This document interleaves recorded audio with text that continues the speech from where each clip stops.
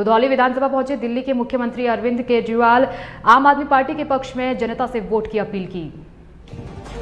मंगलवार को बस्ती जनपद के रुधौली विधानसभा के बुद्धि बाज़ार में आम आदमी पार्टी के मुखिया दिल्ली के मुख्यमंत्री अरविंद केजरीवाल ने एक जनसभा की, जिसमें उन्होंने शिक्षा, स्वास्थ्य, सुरक्षा आदि को लेकर दिल्ली में हुए कार्यों पर प्रकाश डालते हुए लोगों से बस्ती विधानसभा के पाँचों प्रत्याशी को जिताने की अपील की। उन्होंने कहा कि अगर आप चाहते हो दिल्ली की तरह यहाँ भी स्कूल, अस्पताल, सड़कें आदि बने तो आम आदमी पार्टी की सरकार बनाए। हम आपको विश्वास दिलाते हैं कि दिल्ली की तरह यहाँ भी विकास होंगे। उन्होंने बीजेपी योगी को घेरते हुए कहा कि पाँच वर्षों में सिर्फ़ धोखा ही दिया है। इन्होंने पाँच वर्षों में एक भी अस्पताल स्कूल नहीं बनाए हैं। उन्होंने अपने पंद्रह मिनट के भाषण में भाजपा कांग्रेस सहित अन्य पार्टियों पर जमकर तंज कसे। दोस्तों, मैं हूँ धर्मेंद्र द्विवेदी। आप देख रहे हैं भारत, जिद सच दिखाने की। आज हम आ गए हैं रुधौली विधानसभा के बुद्धि बाज़ार में। यहाँ से आज आम आदमी पार्टी छवि रखने वाले आम आदमी पार्टी के मुखिया, दिल्ली सरकार के मुख्यमंत्री अरविंद केजरीवाल जी जनसभा को अभी थोड़ी देर में संबोधित करने वाले हैं। हमारे पीछे आप सामने देखिए, मंच बना हुआ है। यहाँ से अभी अरविंद केजरीवाल जी लोगों को संबोधित करेंगे और यहाँ के आए लोगों से अपने प्रत्याशी को जिताने के लिए, विजय बनाने के लिए अपील जैसा कि आप जानते हैं कि उत्तर प्रदेश का चुनाव ध्रुवीकरण चुनाव होता है। यहाँ पर सेकंड पार्टी कहने वाली समाजवादी पार्टी है। ऐसे में आम आदमी पार्टी कितना कुछ खिला पाती है, उत्तर प्रदेश में क्या कुछ कर पाती है यह जनता द्वारा तय होगा। नेतागण है, इनसे हम जानना चाहेंगे इस सभा को लेकर। सर, क्या नाम है आपका?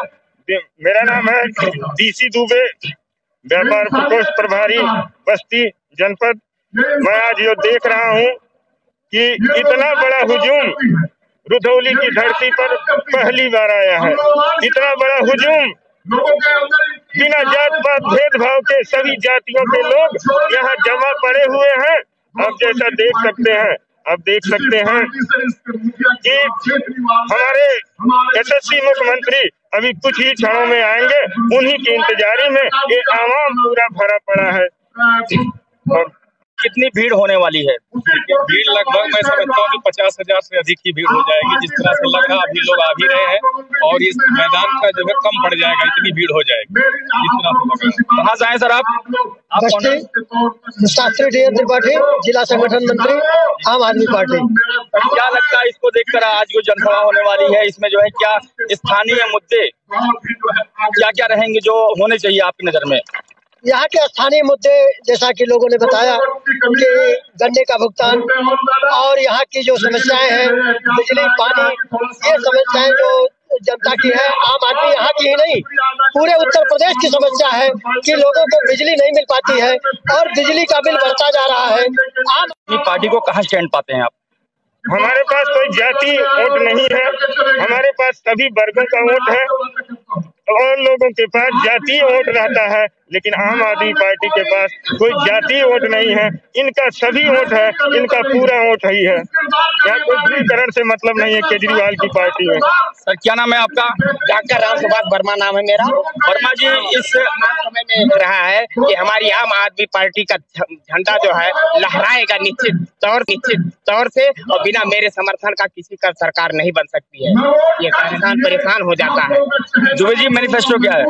मैनिफेस्टो हमारा जो है तीन सौ यूनिट बिजली फ्री, किसानों की बिजली माफ़, नौजवानों के लिए रोज़गार हर साल दस साल, दस लाख रुपये, दस लाख लोगों का रोज़गार और प्रति बेरोजगारों को पाँच सौ पाँच हज़ार रूपए बेरोजगारी भत्ता दिया जाएगा। जब तक उनको समाहित नहीं कर लिया जाता है, जब तक उनको रोज़गार नहीं दिया जाता है।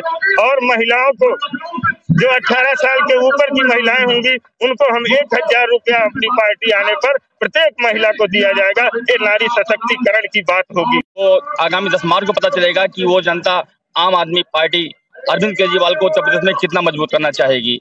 लेकिन अगर हम बात करें दिल्ली के काम हुए हैं वो अभूतपूर्व काम हुए हैं। उनकी आज राष्ट्रीय स्तर से लेकर अंतर्राष्ट्रीय स्तर से भी, भी तारीफ़ हो रही है। बात करें मोहल्ला क्लिनिक की बात करें चिकित्सा व्यवस्था की बात करें शिक्षा व्यवस्था की बात करें सुरक्षा व्यवस्था की बात करें कि प्राइवेट स्कूलों की और बात करें उन स्कूलों में जो सरकारी स्कूल थे उसमें जो सुधार किया गया है सुदृढ़ीकरण किया गया है वह भी काबिल तारीफ़ है। अब देखना यह है कि आम जनता क्या फैसला करती है इसका आगामी पता 10 मार्च को मालूम चलेगा।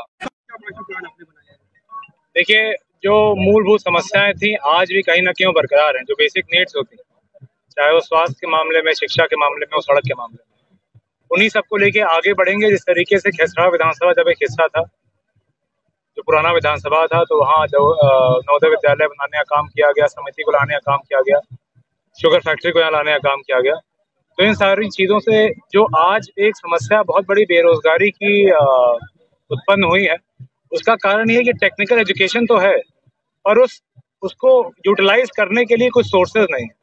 और क्योंकि हम लोग हमेशा एक एग्रीकल्चरल बैकग्राउंड से रहे हैं तो प्रयास रहेगा कि एग्रीकल्चरल फैक्ट्रीज को, ऐसे यूनिट्स को स्टैब्लिश किया जाए, जिससे जो अर्बन माइग्रेशन है, जो शहर में लोग जाते हैं, कोई बहुत खुशी से नहीं जाता है, पलायन इसीलिए होता है कि बेहतर रोज़गार वहाँ मिलेगा तो उस माइग्रेशन को रोक के अपने देश के लिए, अपने प्रदेश के लिए, अपने क्षेत्र के लिए बेहतर काम करें। जनता के बीच में आप जा रहे हैं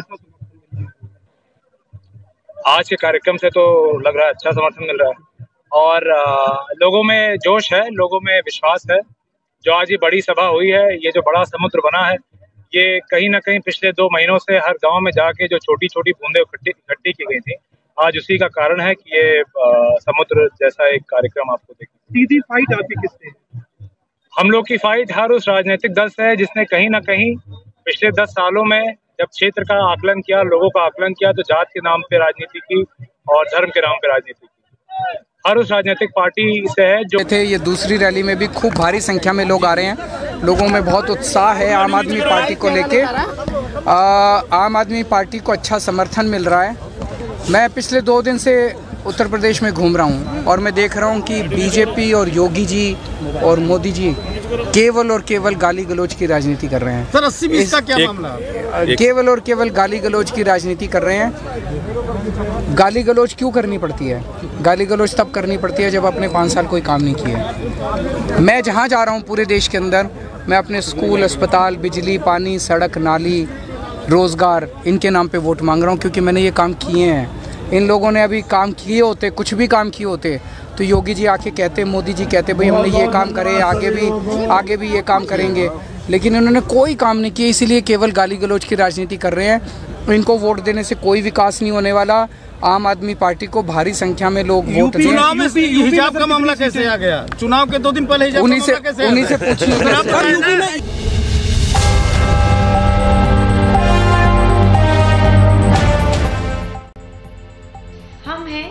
Express news Bharat.